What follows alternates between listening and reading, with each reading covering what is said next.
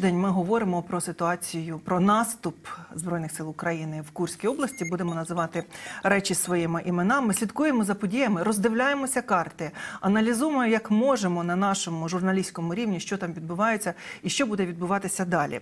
Єдине можу сказати, ефект від цієї операції позитивний в тому, що настрій покращується, і ми якось після тривалого часу такого депресивного сприйняття ситуації починаємо розуміти, що все може змінитися, і що е, відбувається репетиція розвалу Росії. Так це ми називаємо зараз. Олександр Коваленко, військово-політичний оглядач групи інформаційний спротив. Доброго вечора. Доброго вечора. Репетиція розвалу Росії чи ні? Чи початок, скажімо так, оптимістичніше? Ні, ну е, по-перше, хотів би привітати ваш е, канал з новим досягненням на інформаційному фронті. І не останнім. Не першим і не останнім. А, отже, щодо розвалу Росії, тут я не буду таким оптимістом. Я не бачу у цьому о, саме м, якоїсь передумов для саме розпаду Російської Федерації. Але те, що це ну така досить ганебна для них е, ситуація, я б навіть сказав би більше. Це величезна репутаційна втрата, яку не відчувала Росія. З моменту початку повномасштабного вторгнення в Україну, тобто були ці е, втрати, тобто програвати війну е, меншій за розмірами країні, програвати війну країні з меншою кількістю сил та засобів військ та можливостей навіть е, нанесення ударів у відповідь і так далі, і таке інше, і багато інших. Програти про війну на Чорному морі, втратити свій, свій флот, отримати флотілію і взагалі вже прямувати до назви такого собі якоїсь а, човнової станції невеличкої в Чорному морі, і так далі, і таке інше. Багато було ось таких моментів, але саме втрачати сотні квадратних кілометрів своєї власної території. В максимально короткі строки. Ну тобто, зараз ми про що говоримо? Ми говоримо про тисячу більш ніж тисячу квадратних кілометрів, вже І більше. більше 40 населених пунктів. Так, е, і все це на території Російської Федерації за тиждень. Тобто, це величезний репутаційний удар не тільки в цілому. По е, самої цієї міфології Другої армії світі, черговий, до речі, а це і серйозний репутаційний удар безпосередньо по самому Путіну. До речі, дуже цікавий момент. А тут є можна провести паралель.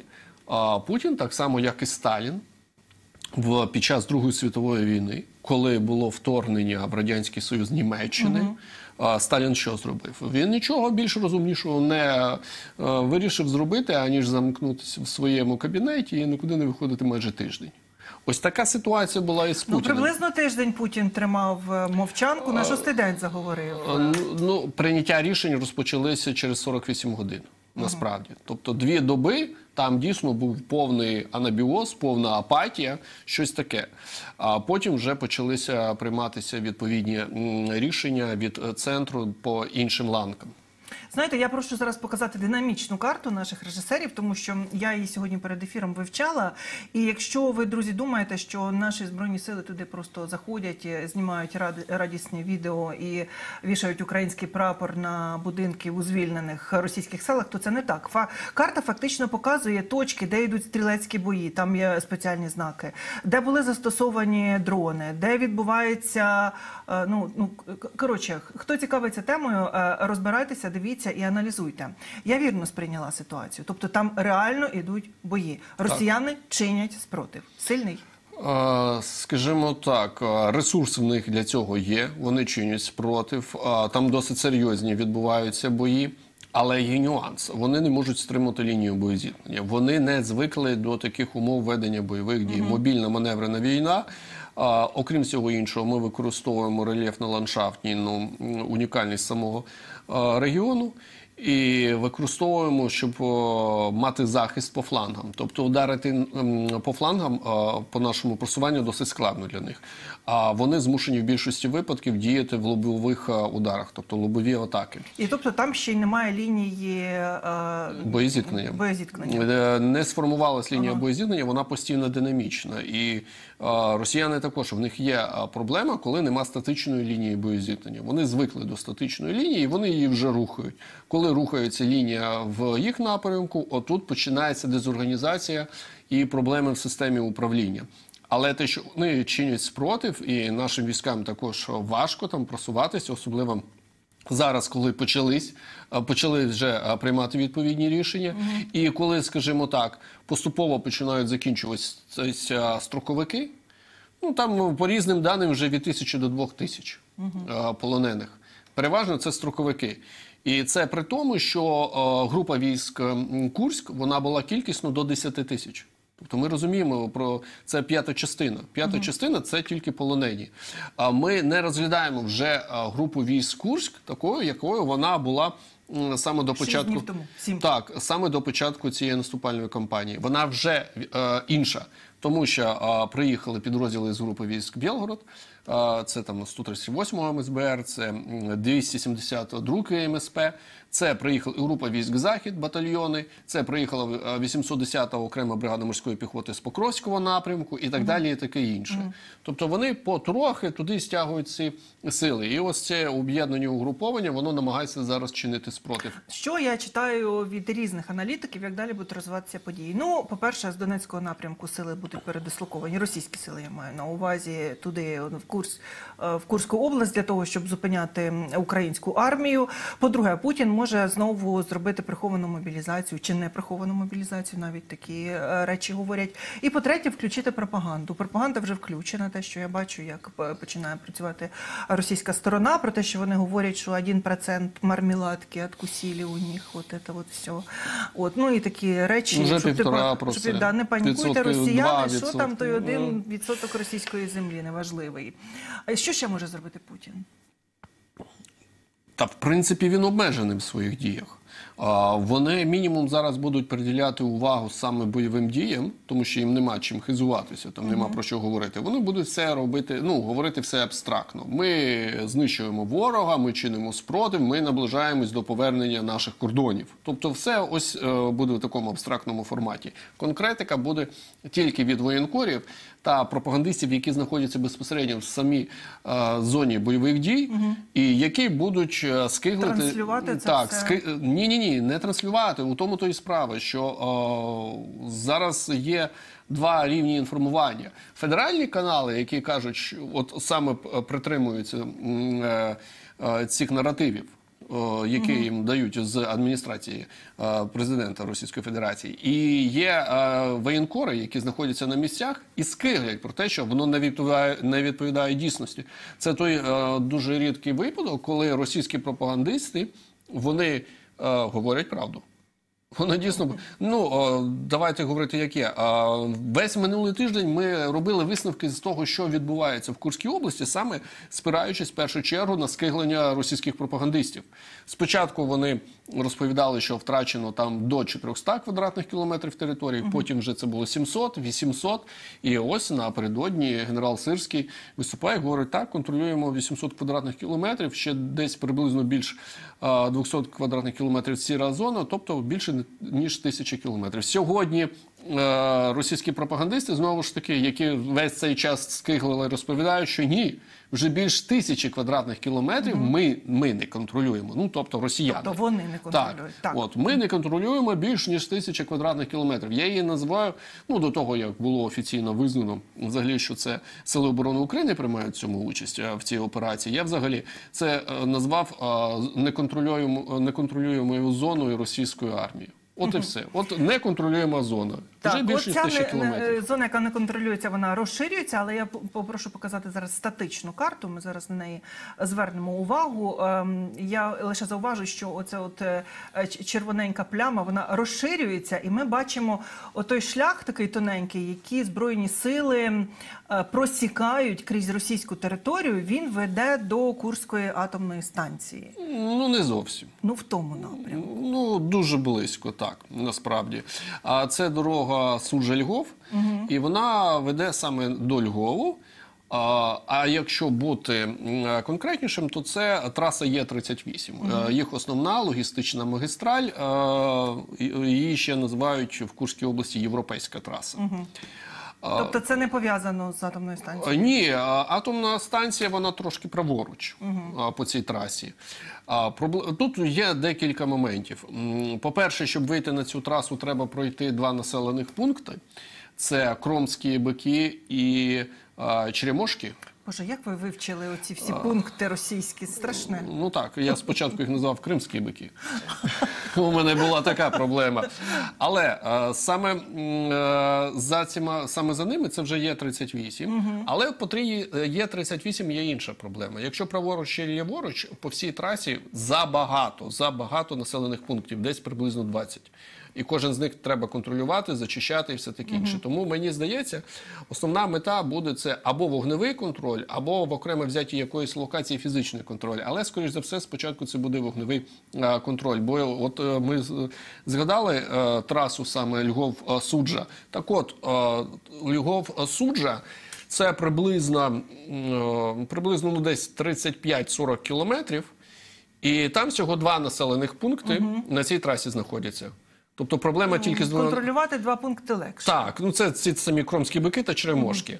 А якщо ми говоримо про Є-38, то там приблизно фронт 50 кілометрів від е, Рильська до Курська. Але більше 20, 20 населених пунктів. Тому я не думаю, що йдеться зараз про Курську АЕС, йдеться про щось інше. В першу чергу це вогневий контроль цієї траси, бо вона єдина, яка дозволяє з Рильська на Курськ, з Курська на Рильськ забезпечувати логістику. Бо логістику в суджі, в першу чергу залізничну, ми вже перерізали.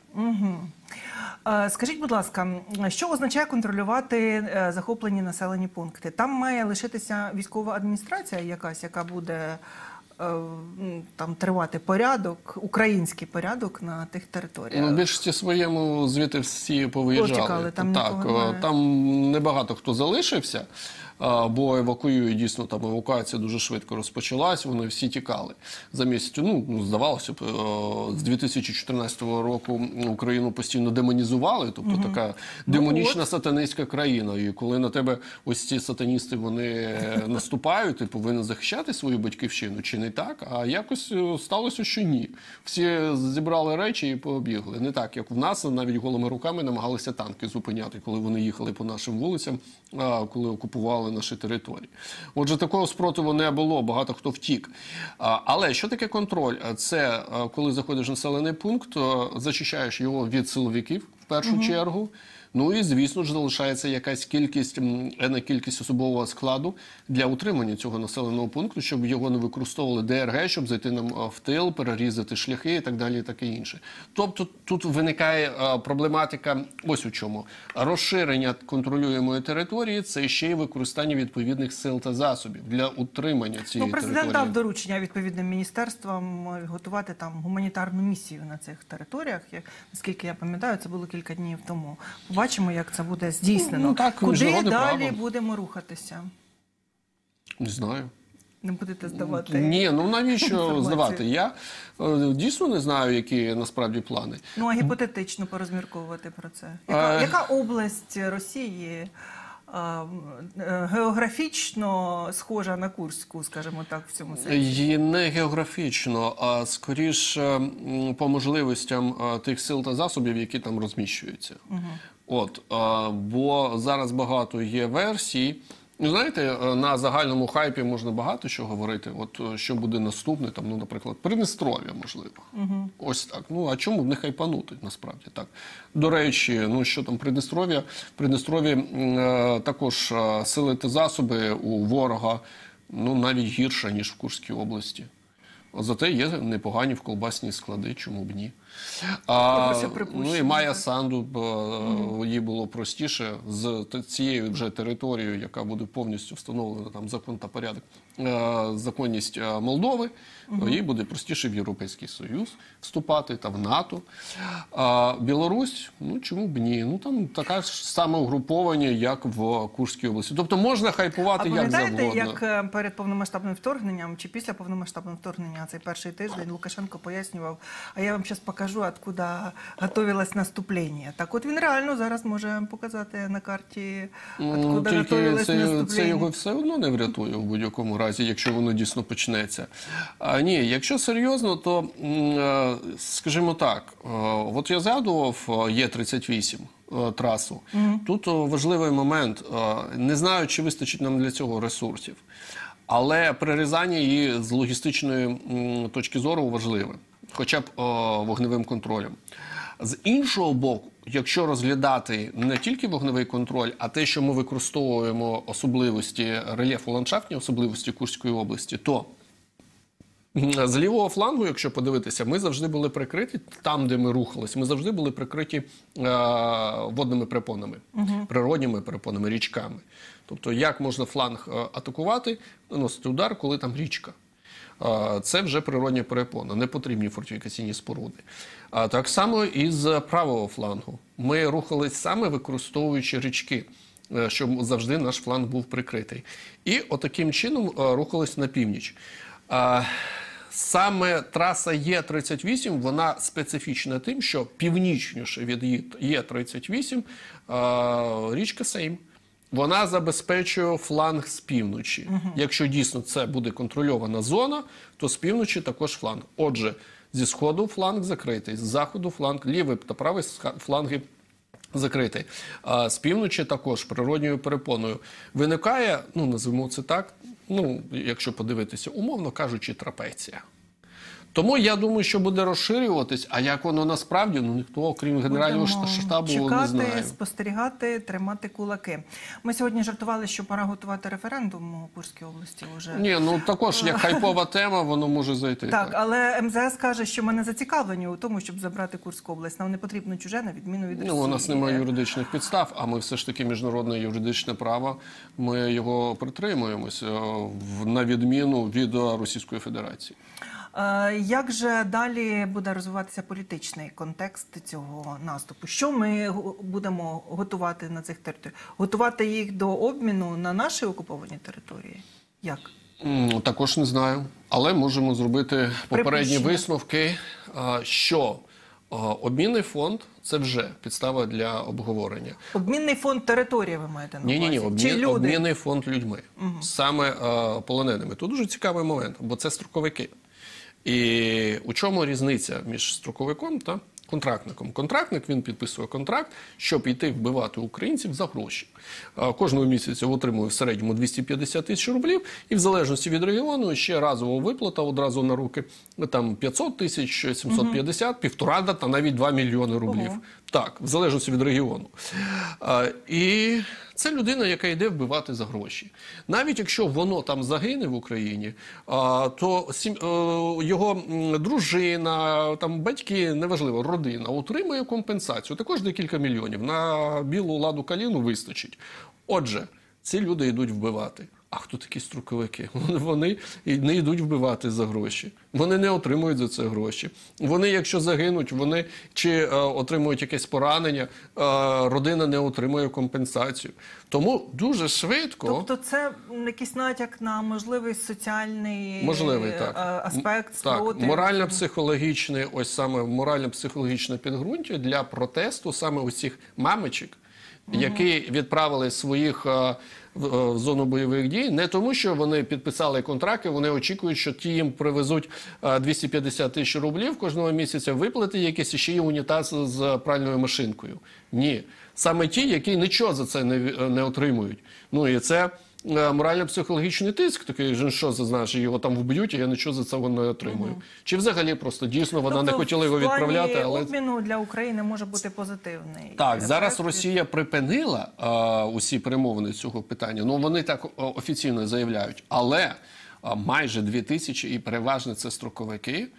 Ну, це буде перша тема для перемовин, а території вже потім. Тобто для Путіна навіть не так важлива Курська область в даному випадку, а скільки щоб не відбувалося дестабілізації внутрішньої.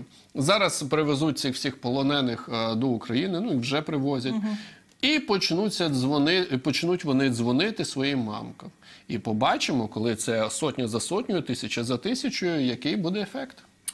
Я хочу продовжити тему з Лукашенком, тому що завтра е, роковини виборів е, так званого президента Лукашенка. Ми пам'ятаємо, що тоді відбувалися певні акції спротиву. Люди виходили на вулиці, вони не вважали ці вибори такими, що відбулися, але ситуація була придушена.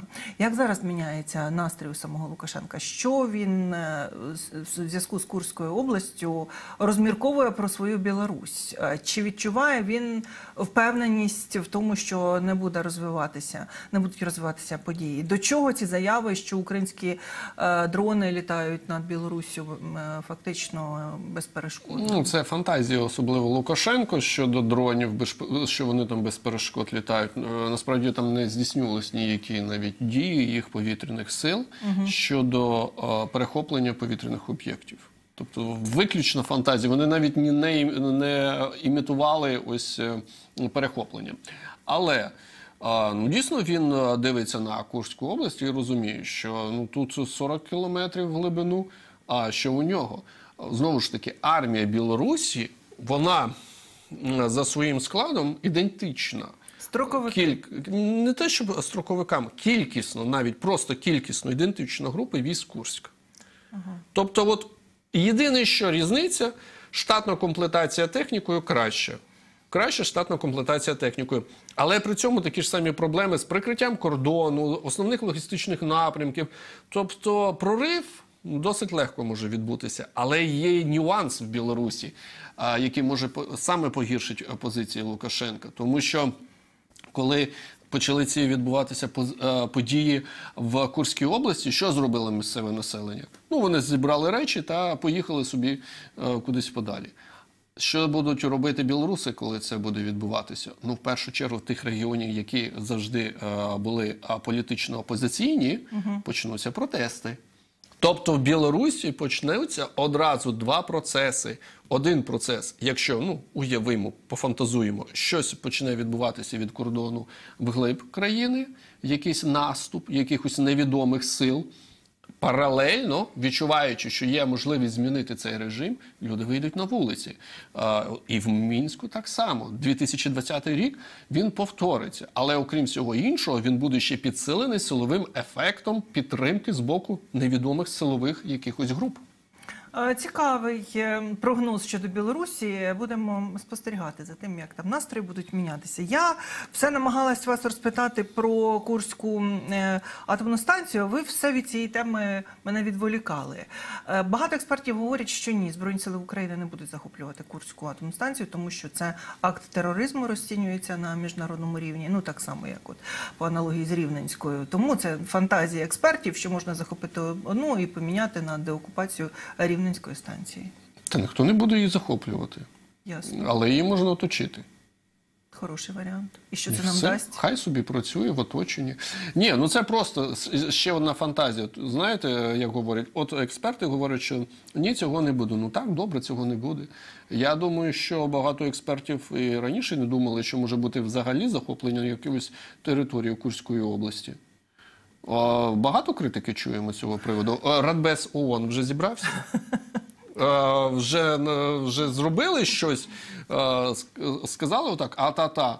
Зробили нам, що ми це робимо? Ні, нічого. Ре- навпаки, реакція яка? Таке, таке враження, що весь захід він е, запасся попкорном і чекає. А чим все це А до речі, чому така реакція? Весь час нам говорили, що не треба дратувати Путіна. Ми повинні говорити про деескалацію. Тактика маленьких порізів, щоб Путін не розсердився, щоб не погрожував ядерною зброєю. Тут відбувається наступ у Курській області. Джон Кірбі говорить, що не хочете наступу, припиняйте війну. Партнери аплодують, кажуть, що Путін взагалі нічого не контролює. Ну, нашим партнерам треба кожного разу демонструвати те, що можна з Росією робити, що зможе з неї зліпити. Насправді то. А, Це дійсно як гліна зараз. А, Ну, ну, скільки було вже цих червоних ліній? Удар по Керченському мосту, удари по Криму, які вони вважають своєю територією, будемо жорстко відповідати там ядерною зброєю. А, Удари по аеродромам, де базується стратегічна а, триада а, авіація, ракетоносці. е, е, Бомбардувальники носії ядерної зброї, удари по системі попередження, е, раннього попередження ядерних ударів, то знову ж такі Вороніж ДМ, е, це саме РЛС. е, По Москві щось прилітало, якісь дрони невідомі. Долітали дрони вже до Ленінградського округу, їх військового округу, до Санкт-Петербургу майже долітали. Отже, де межа цих червоних ліній? Курська область. Доброго ранку. Ми заходимо. І от е, зайшли в Курську область, ще одна червона лінія. Ну що далі? Е, удар по Москві, Атакамс. Ну, це треба на 300 кілометрів підійти до Москви, щоб Атакамсом е, вжарити. Але знову ж таки, ми постійно демонструємо нашим партнерам, що насправді не існує у Росії червоних ліній. Вона їх вигадує кожного разу. І треба її сприймати такою, якою вона є. І наші партнери. Вони нарешті це почали розуміти і спостерігають за тим, а яку чергову ми червону лінію перетнемо. Ну знову ж таки, можливо, це буде Придністров'я. Дивіться, але водночас на цьому тлі Британія говорить, що вона не давала дозволу бити Storm Shadow по території Росії під час наступу у Курській області. Хоча до цієї заяви Британія була попереду прийняття рішень.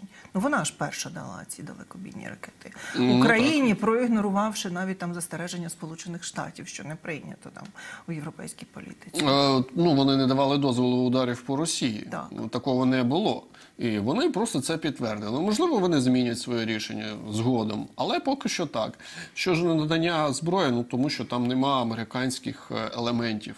е, Що треба було погоджувати, там були французькі та британські елементи: мікросхеми, мікрочіпи, все це. Тобто нічого американського. Тому вони і надали дозвіл по тимчасово окупованим територіям наносити удари. Поки що так вони е, дивляться на ситуацію. Але я думаю, що так само, як з ATACMS, так і з Shadow та SCALP-EG будуть прийняті відповідні е, рішення. Окрім того, що ну, французькі е, Hammer и вже по Курській області працюють.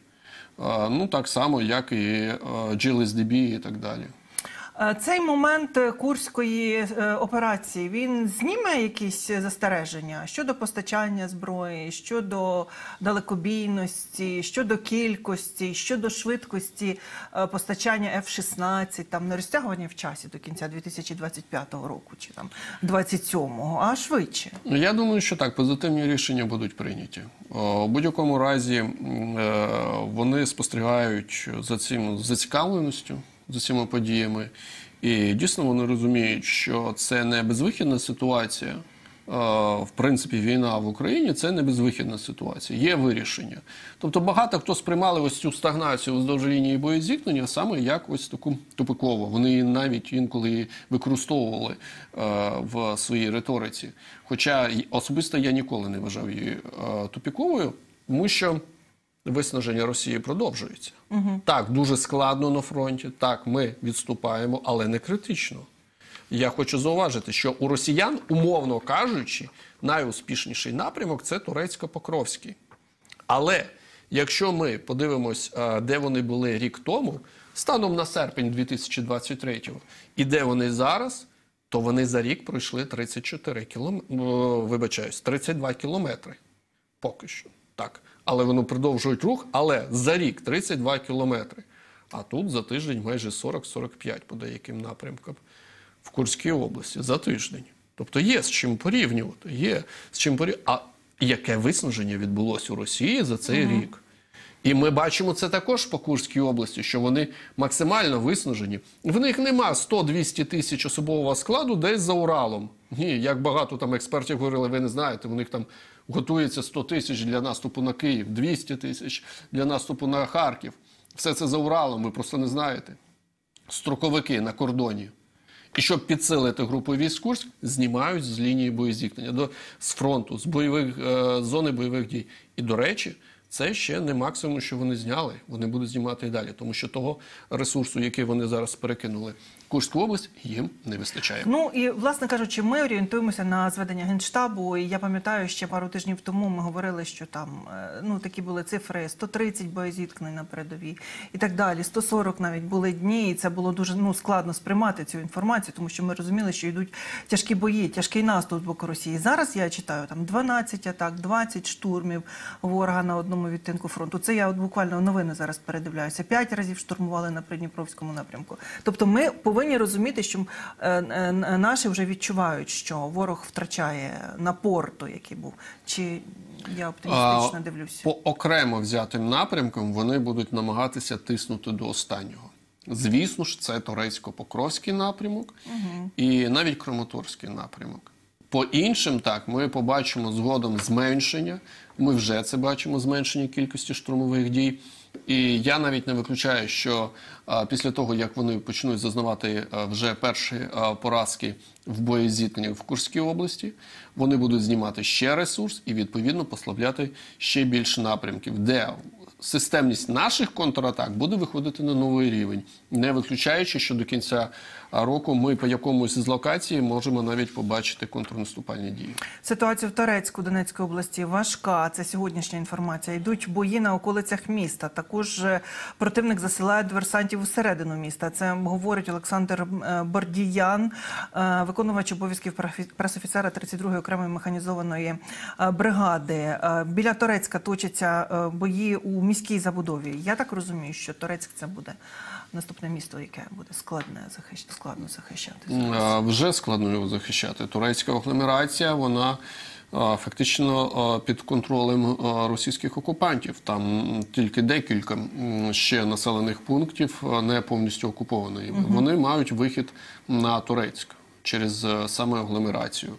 І це буде генераль для російських окупаційних військ, для їх командування. Це генеральна битва 2024 року. І туди будуть основні сили А вони там ну, і так присутні. Там досить складна ситуація, тому що одночасно там оперують дві групи військ. Це єдиний напрямок, де оперують одночасно дві групи військ. Це група військ Південь. Вона завжди була однією з найтаких боєздатніших. І група військ Центр, е, яку саме вона оперувала на Лиманському напрямку. І її відтягнули з Луганщини також найбільш боєздатні з її складу бригади. Саме тому на Лиманському напрямку зменшився тиск. А максимальний ми бачимо саме на Турецько-Покровському. Тому там дійсно максимально складно. Ну і на завершення в контексті військово-політичного аналізу Подоляк е, вийшов з певними коментарями. Е, хочу зазначити, що інформаційної тиші було дотримано перед курською цією кампанією, і це дуже приємно, що люди так усвідомлено підійшли до того, які мали цю інформацію. Е, Значить, Подоляк говорить, далі шлях до перемоги. Перший шлях це руйнування військової інфраструктури сухопутними операціями. Саме те, що в силах України, що потрібно для захисту українців у прикордонних областях. І другий шлях це закінчення війни. Е, Він назвав завдання масштабних і регулярних далекобійних ударів у глиб Росії. І тут потрібно багато ракет. Це паралельні два шляхи, чи якийсь один з них шлях перемоги? Е, Використовувати все одночасно, чому б ні? Е, Нанесення ударів в глиб території Російської Федерації, Курська область вона відкриває нові можливості. Тобто, якби ми мали погодження на використання Атакамс зараз, то ми б наносили удари не зі своєї вже території, а з території Росії по території Росії. Це значно збільшує можливості радіус впливу саме цих ракет, і не тільки цих ракет, а багато інших е, засобів враження, які можуть нам передавати наші партнери і надати дозвіл на використання по території Російської Федерації. Безумовно, можна зруйнувати набагато більше цілей і набагато глибше глиб території Російської Федерації. На жаль, поки що ми цього не маємо, але маємо надію, що дипломатія вона все ж таки спрацює. То зараз треба сподіватися, що дипломати мають підключити всі свої зусилля для того, щоб отримати ці дозволи. Ну і постає питання там українських ракет. Воно актуальне, присутнє? Е, Воно актуальне, воно присутнє, але поки що, на жаль, не в такій кількості, як можуть передавати нам наші партнери. Яким буде ем, яким будуть наступні кілька днів до неділі, як ви вважаєте? Ми повинні готуватися до масованої ракетної атаки з боку Росії зараз? Ми в будь-якому разі е, повинні були до неї Ну, тобто ця е, відповідь готові. десь Ні. передбачається. Ні, це, ну, це не можна назвати відповіддю. Вони планували на вони планували на День Незалежності ракетний удар. Угу. Фактично, вони можуть собі дозволити приблизно десь раз на місяць здійснювати такий Вже не масштабний, більше не масований, пройшло а великий так. атаки. Від 8 липня. Так. А, ось великий удар ракетний вони можуть собі дозволити десь приблизно раз на місяць. І в серпні це саме День Незалежності, але події в Курській області. Вони вже там погрозами якось е, ретранслювали ці погрози, і тут найцікавіше інше, що вони зроблять. Чи вони використають цей боєкомплект, який готувався саме для того, щоб реалізувати цю свою погрозу, чи вони все ж таки витримають до Дня Незалежності і зроблять так, як в них було заплановано? Тобто один варіант з двох. Тобто, чи будуть вони е, руйнувати українську інфраструктуру і якісь військові об'єкти у нас тут на території України, чи вони будуть наводити лад у себе в Курській області? Так треба сприймати ситуацію. Одно з іншим не пов'язано. Ну, ці ракети вони не мають ніякого відношення до о, нанесення ударів по Курській області. Вони будуть спрямовані саме по території України. Тобто це точно. Коли саме до Дня Незалежності чи під час, е, це інше питання. А те, що це відбудеться в серпні, так. Дякую, Олександре. Спасибі за ваш коментар. Максимум витиснула з вас інформації, все, що могла. Дякую за інтерв'ю. Олександр Коваленко був в цій